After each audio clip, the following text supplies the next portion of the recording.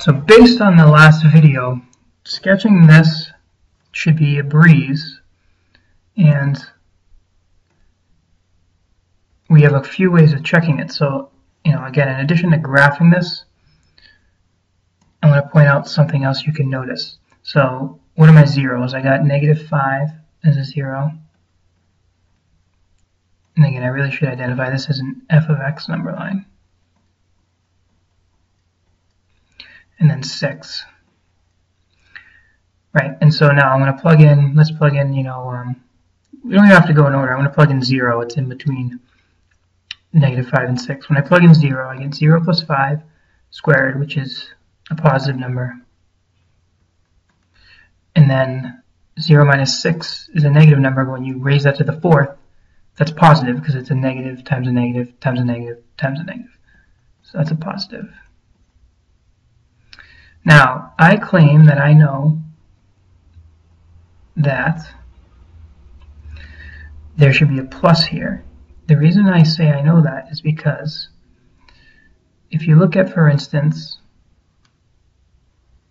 if you look at uh, the 0, negative 5, its multiplicity, its multiplicity is a 2, which is even. So we know the graph is going to bounce. And at 6, the multiplicity is even 2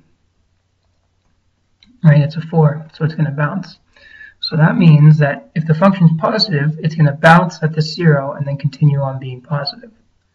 Okay, now again, if you don't feel comfortable with that reasoning, then by all means plug in 7 and evaluate, and you should see that this would still be positive. But this is another line of reasoning you can use.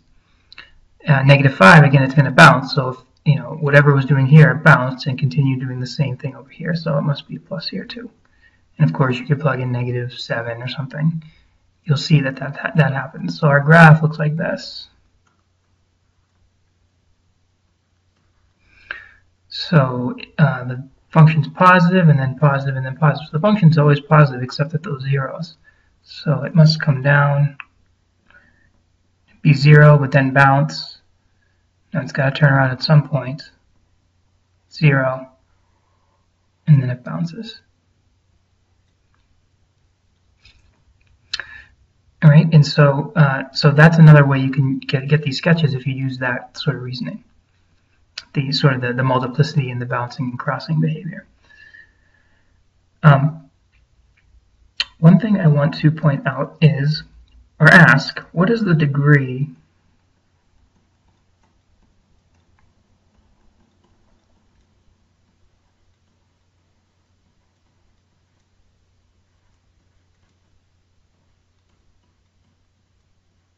What is the degree of this polynomial?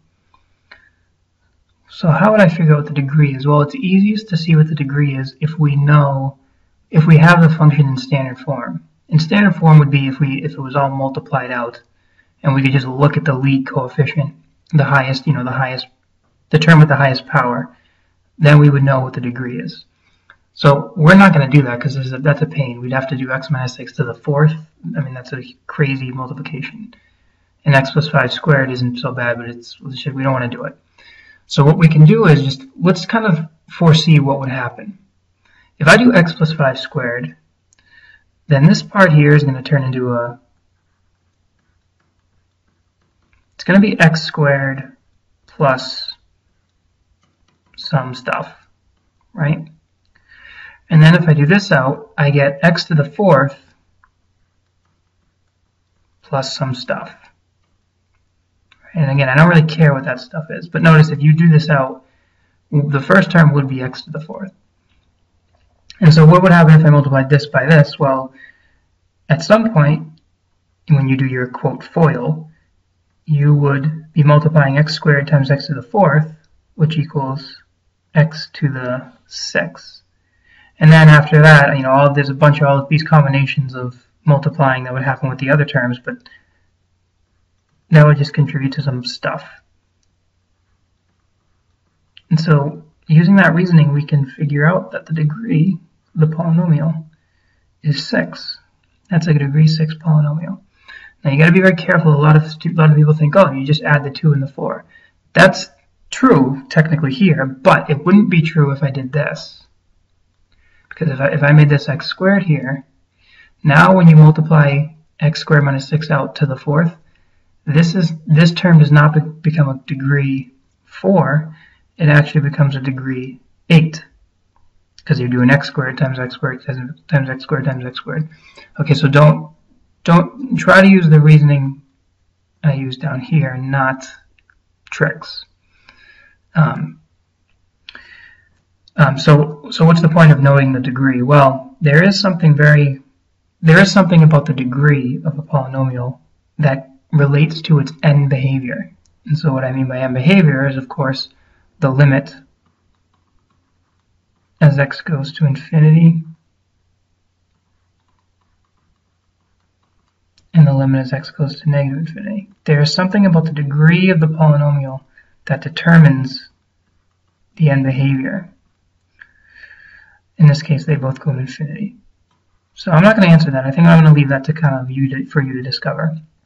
We can talk about in class. But the fact that this is a degree 6, I know, I knew that this, the end behavior was going to be as it is before I even did this problem. And so I challenge you to figure out if you know what's uh, what's going on there.